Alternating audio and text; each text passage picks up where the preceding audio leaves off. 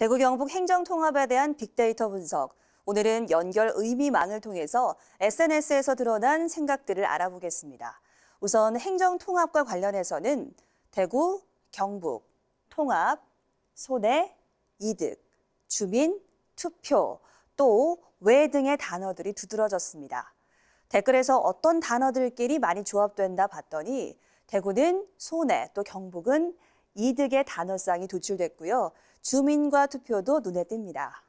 그런데 공론화위원회 출범 후에는 도지사, 도청, 신도시 그리고 공무원 같은 새로운 단어들이 등장하기 시작했습니다.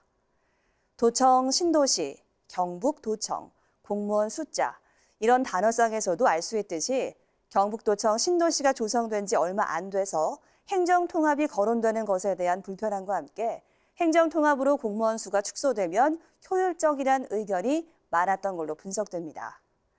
댓글에서 도출된 주제와 역시 비슷한 양상을 보입니다.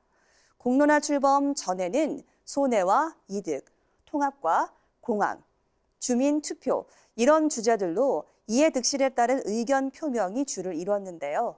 출범 후에는 경북도청 신도시, 통합과 공무원, 그리고 예산과 폐교 등의 주제가 상위권에 등장했습니다.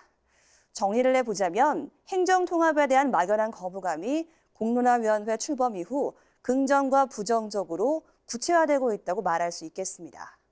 공론화위원회가 찬성과 반대라는 이분법적인 논리를 가지고서 접근하기보다는 어, 통합이 가지고 있는 세부적인 측면들을 좀 더 주제화하고 다양화시켜 가지고 어, 시도민하고 소통하는 것이 필요하다.